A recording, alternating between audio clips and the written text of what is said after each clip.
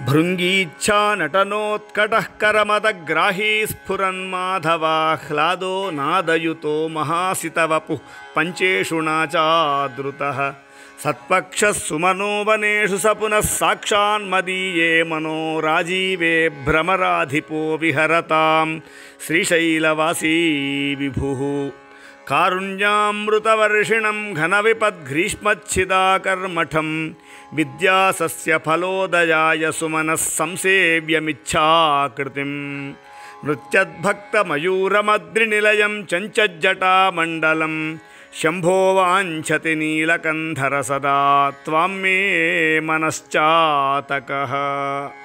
आकाशेन शिखी समस्तफणिनां नेत्राकलापी नतानुग्राहि प्रणवोपदेशनिनदैः केकीति योगीयते श्यामां शैलसमुद्भवां घनरुचिं दृष्ट्वा नटन्तं मुदा। वेदान्तोपवने विहाररसिकं तन्नीलकण्ठं भजे सन्ध्याघर्मदिनात्ययो हरिकराघातप्रभूतानकध्वानो वारिदगर्जितं दिविशदां दृष्टिच्छटा चञ्चला। भक्तानां परितोषबाष्पविततिर्वृष्टिर्मयूरी शिवा यस्मिन्नुज्ज्वलताण्डवं विजयते तन्नीलकण्ठं भजे आद्याय मिततेजसे श्रुतिपदैर्वेद्याय साध्यायते। विद्यानन्दमयात्मने त्रिजगतः संरक्षणोद्योगिने। ध्येयायाखिलयोगिभिः सुरगणैर्गेयाय मायाविने। सम्यक् ताण्डवसम्भ्रमाय जटिने सेयन्नतिशम्भवे। नित्याय त्रिगुणात्मने पुरजिते कात्यायनी श्रेयसे सत्यायादिकुटुम्बिने मुनिमनः प्रत्यक्षचिन्मूर्तये मायासृष्टजगत्त्रयाय सकलां नायान्तसञ्चारिणे सायन्ताण्डवसम्भ्रमाय जटिने सेयन्नतिशम्भवे। नित्यं स्वोदरपूरणाय सकलानुद्दिश्य वित्ताशया व्यर्थं पर्यटनं करोमि भवतः सेवां न जाने विभो।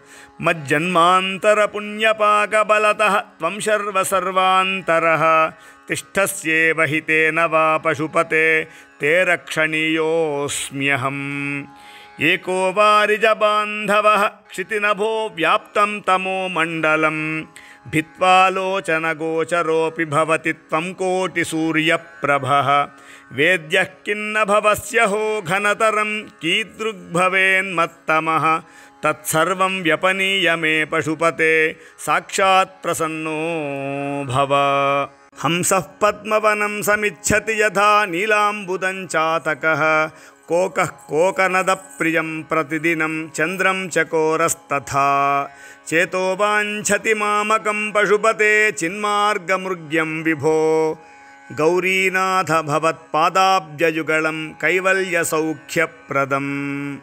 रोधस्थोयहृतश्रमेण पथिकश्चायां तरोर्वृष्टितो भीतस्वस्थगृहं गृहस्थमतिथिः दीनः प्रभुन्धार्मिकं दीपं सन्तमसाकुलश्च शिखिनं शीतावृतस्त्वं तथा चेतः सर्वभयापहं व्रजसुखं शम्भोः पदाम्भोरुहम्।